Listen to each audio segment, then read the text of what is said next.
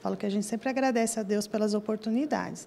E essa foi mais uma oportunidade ofertada aqui através do Senar, da parceria do Sindicato Rural e da Prefeitura através da Secretaria de Assistência Social. Né? Quero aqui agradecer toda a equipe em nome da Dona Maria, da Deusirene, né? toda a equipe técnica aí que acompanha né? e que faz acontecer esses cursos. Né? Então, toda a equipe através da secretária Andréia, né? que sempre está empenhados em trazer esses cursos com essas parcerias. E também em especial a professora Célia, aqui do Senar, que veio dar esse curso de panificação, e também a todas, né, a essas mulheres que vieram fazer esse curso, porque não adianta nós, né, como gestores, a equipe técnica, né, correr atrás, né, o Senar está à disposição e não tem público, né?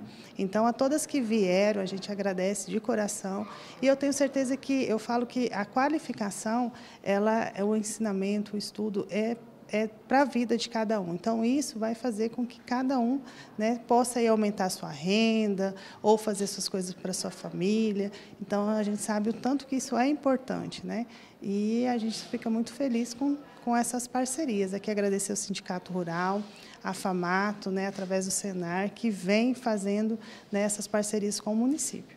Bom, e é importante a gente falar também né, que as outras pessoas que assistem esse material, seja procurando o CRAS, o próprio sindicato, para saber dos outros cursos que estão sendo ofertados. Exatamente, né? Venham, né, se interessem. A gente tem uma grade de curso durante o ano, né? E a gente precisa desse público, né? Dessa procura, para que também, se não estiver na grade, a gente correr atrás desses cursos. Então, quem tem interesse em fazer alguma qualificação, né, procure o sindicato rural, procure a assistência social através do CRAS, né? E façam é, essa solicitação, né? Que estamos aqui para correr atrás, servir aí a toda a nossa comunidade.